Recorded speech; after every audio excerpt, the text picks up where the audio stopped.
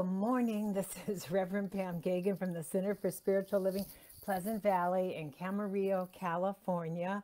And it's good to be with you on New Year's Day 2021.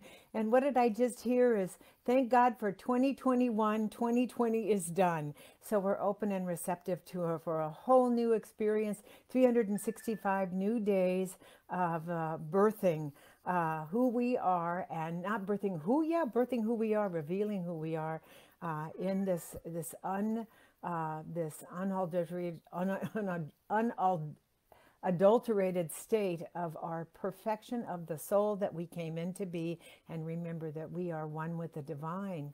And so on this new year's day instead of um, doing intentions although i think intentions are very good i think it's a wonderful day just to sit with what is sit with the what is and to decide um, uh, just to be with the own self and discover that great beyond within. Because uh, although I think I believe very much in affirmations and intentions, there is so much more to um, kissing the ground, as I say, where you're at right now, uh, and there's a, because there's a thousand ways to listen to yourself and know that you are already home, like Dorothy in The Wizard of Oz. Um, you were always able to go home, and home is where we are. So as we begin this, and we keep opening up to the truth of who we are in this year, it's about letting go of all the distractions around us, letting go of which is not you, and embracing the truth of your being. And that is knowing who you are. And who you are is the God self. And the perfection of who you are comes from the heart of the true self, the divine love within. It is again, as I say, the rock upon which we all stand. Holy ground is wherever we stand because we are there and we bring our great energy with it. And yet, many times we turn to God only when we're in need, when we're desperate for change. And yet, this is the most perfect time to embrace your divine right inheritance and to turn within to the times that there are knowing that, that God, the God self, the divine energy within you never leaves us. And the mystics knew all this. They shared the secrets of the universe long before the first physicist ever was documented, which was Isaac Newton. They knew that there was a oneness within all of us, and that no matter what the world um, uh, appears to us, we are part of that. Every cell is a cell and a cell and a cell and a cell, and we are all connected in this web of life. So I would like to do uh, a, a, mantra with you, and I'll tell you what that is in just a moment. But first, just let's relax in. Just, just relax in knowing God is, I am, and beyond all appearances, that there is something greater unfolding. And if we had not done everything we did this last year and gone through everything we went through this last year, we would not have the fertile soil that is within us right now for this new birth, this new beginning, this new uh, understanding that moment by moment by moment in our mindfulness that we are the thing itself. We are that divine spirit and that it is our job to go beyond the challenges and the distractions outside and in this new year just to remain in the heart, in the heart where it all happens. It is the passion of the heart. Love points the way and the law makes the way possible. But it is the love and understanding within the heart that is the most important. And that love and understanding comes from recognizing and knowing the God self within you and the God self within every other living thing. And that's what the Namaste is about. The self, the God within me, recognizes the God and the Spirit divine within you. And without that knowing, you wouldn't know that you were the divine.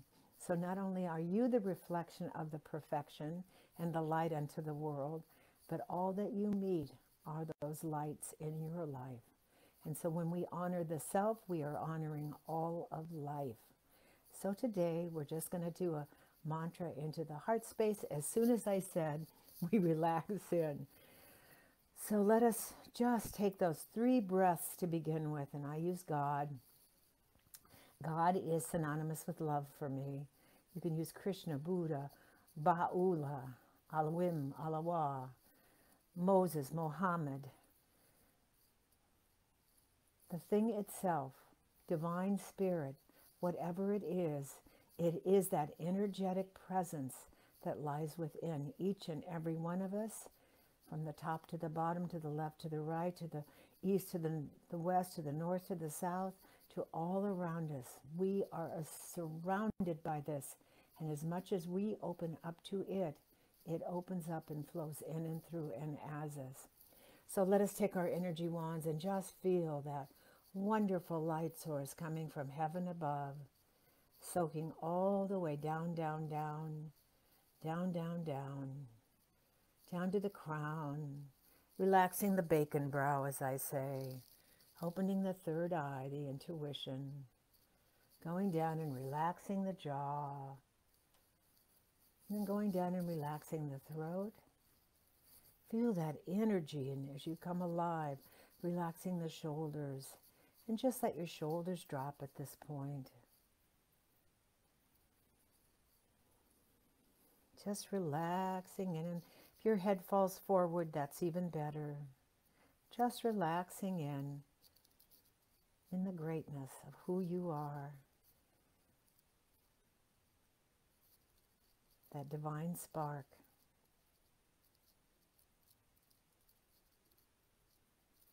And so now let that energy go down over the cross the upper arms, down the shoulders, upper arms, down to the elbows, down to the forearms, out the wrists, and out the fingertips.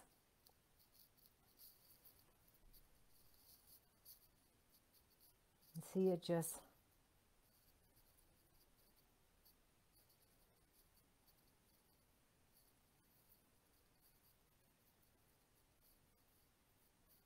just vibrating out your fingers. See that energy coming right back up the fingertips, up the hands, the wrists, the lower arms, the elbows, up to the upper arms, and then coming right back down and surrounding your chest and seeing that beautiful lotus in the middle of the, the center of your heart as it opens. It's what I see there all the time, and a deity sits there. Just call in whoever you would like Jesus, Moses, Mohammed, the thing itself. God, someone from the heaven world that wants to talk to you and communicate with you. Call in that energy, knowing that this is the year that, that I cherish this 2020 as we say goodbye to it, for it deepened my experience opened my heart more, gave me more compassion. Didn't give me anything. I opened up to more compassion. It was always there. I opened up and I was awake, aware, alert in my spirituality. I deepened and dug deeper to bring my gift to this planet more than ever before, into the great beyond within, into that perfection of the soul that is incorruptible and indefatigable never tires. And as I open up to it, for it is with me throughout eternity,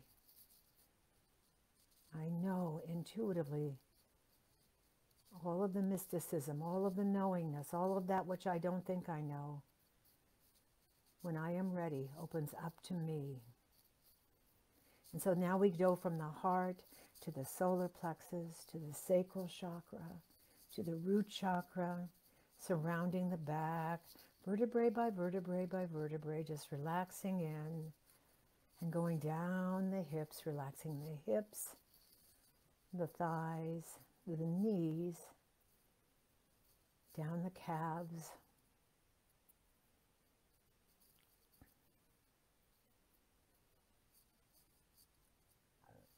Going down the ankles and the feet and grounding because we are here our body temple is the greatest learning experience. That is why we have chosen this earth planet and our mother to learn so much. And how we learn it is from matching her physicality in this third dimension, in that density. So, as we are operating in the third dimension in our bodysuit, we are also operating in the fourth, fifth, sixth, and seventh dimensions and beyond, depending upon your awakening and where you are. And the fourth dimension is that intuitive dimension. And in the silent, the silent silence, we have been so connected that all you have to do is even think of someone in this time period and they call or you connect with them instantly in the heart. So now let's take that energy that's grounded in the earth and it can be connected, that wonderful tube of light, to a tree root, have someone holding it, whatever. But it grounds us into the experience of beingness. And let's just breathe in that light all the way up with God is on the in breath. And on the out breath, I am. And two more silently.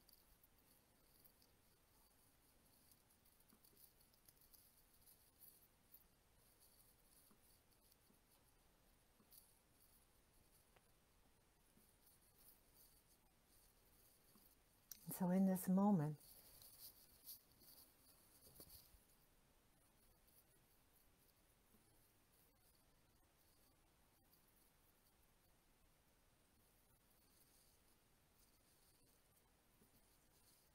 my mantra is, and it'll be permeated and uh, by the Om.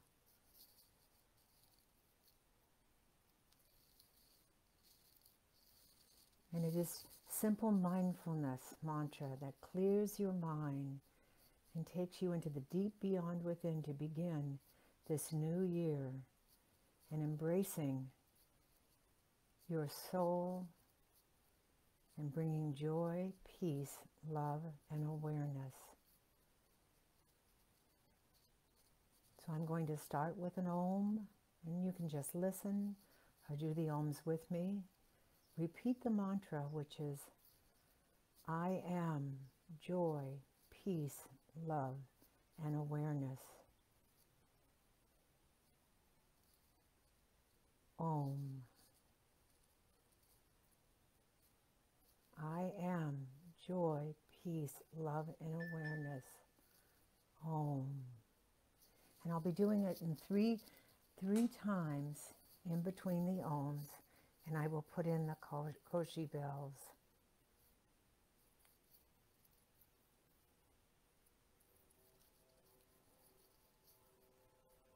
So we just relax in.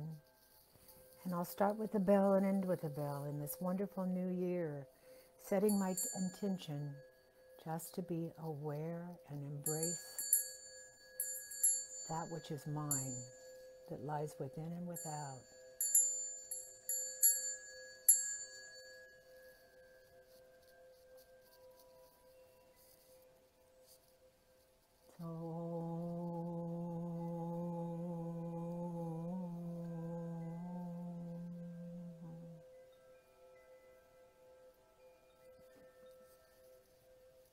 Joy, peace, love, and awareness. I am.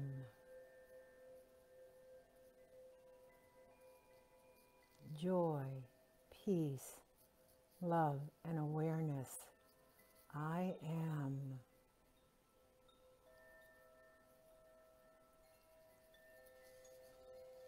Joy, peace, love, and awareness. I am. Oh.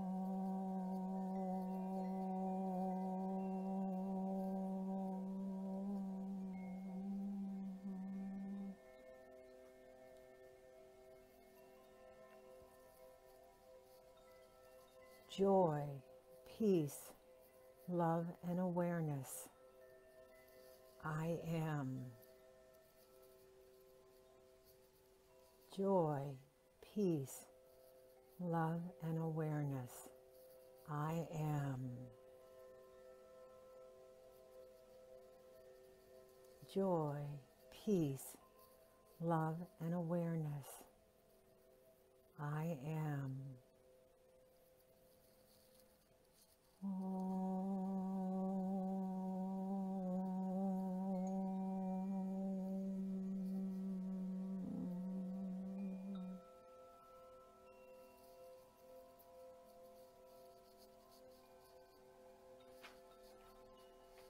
joy, peace, love, and awareness. I am.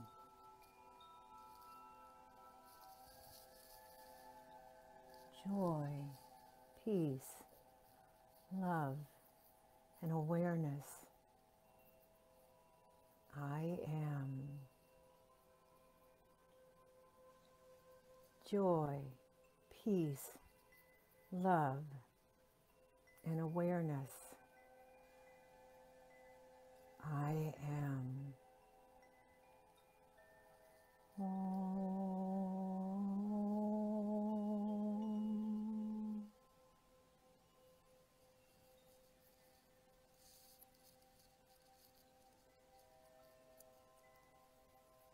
Joy, peace, love, and awareness. I am.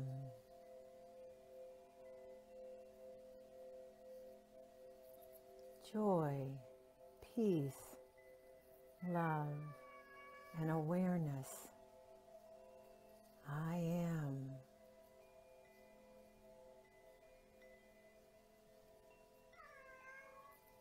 Joy, peace, love, and awareness. I am.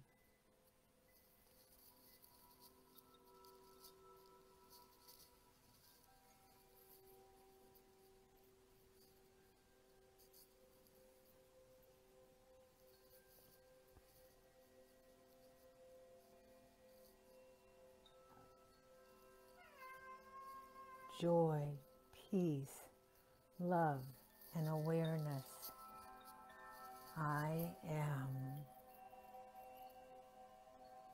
Joy, peace, love, and awareness. I am.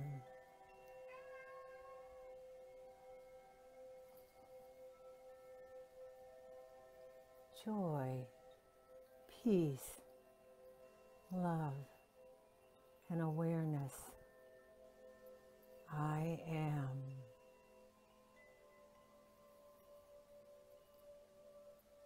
Om.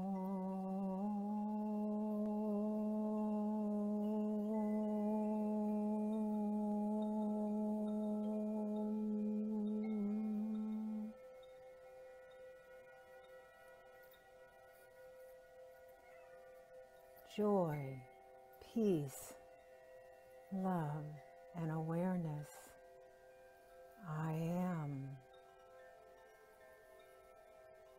Joy, peace, love, and awareness. I am. Joy, peace, love, and awareness. I am.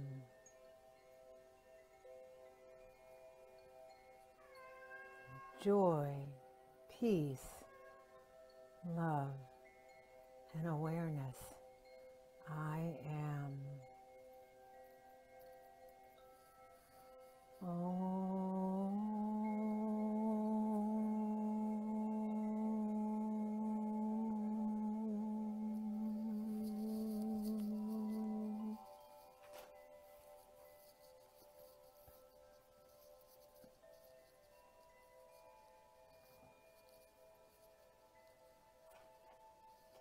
Joy, peace, love, and awareness.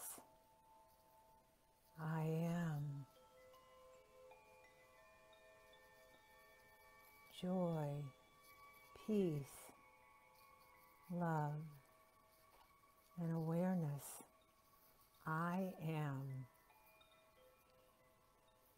Joy, peace, love, and awareness. I am. Om.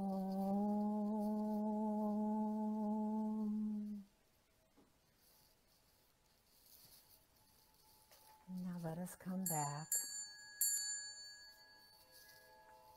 as we embrace this new year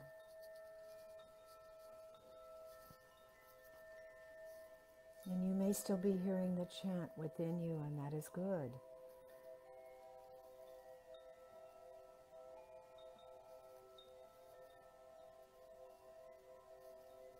And as we begin this new year,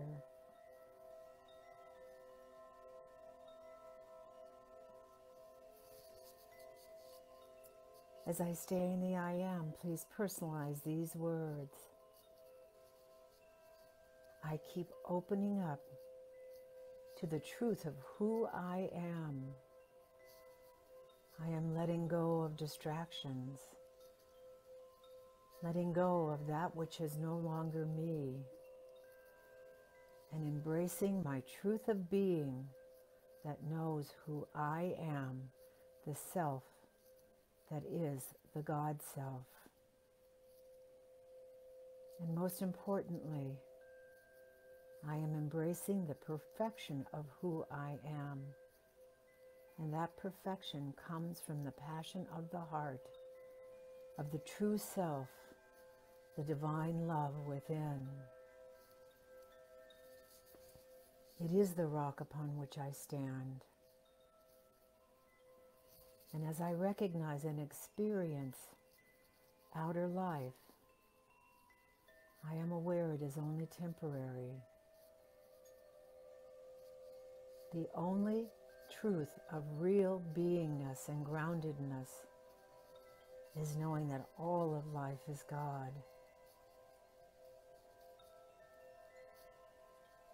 And I am claiming my divine right inheritance this year and all the years. And turning inward. For God never leaves me.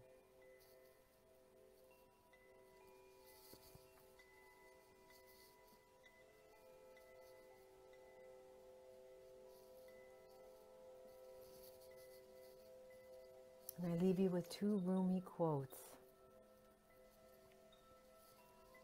I know not how I may appear to the world, but to myself, in my evolutionary process, I seem to have been only a boy playing on the seashore and diverting myself in now and then finding a smoother pebble or a prettier shell than an ordinary one, while the great ocean of truth lay all undiscovered before me. And I am the very center of my heart. And that's where life begins. And that is the most beautiful place on earth. For everything in the universe is within me. And I am asking all of myself, that is my God self, to reveal itself in its highest good for self and all. And as I leave you today, I say a prayer for everyone out there needing a prayer today. And if there's a way you can support them on the phone or any way else, wish them a happy new year and knowing 2021 is going to be fun and 2020 is done. And as we say, peace out and namaste. And my prayers are with each and every one of you. My heart is with each and every one of you. For how could it be any different? Because we are one in this web of life. And whatever I do to one, myself, I do to all.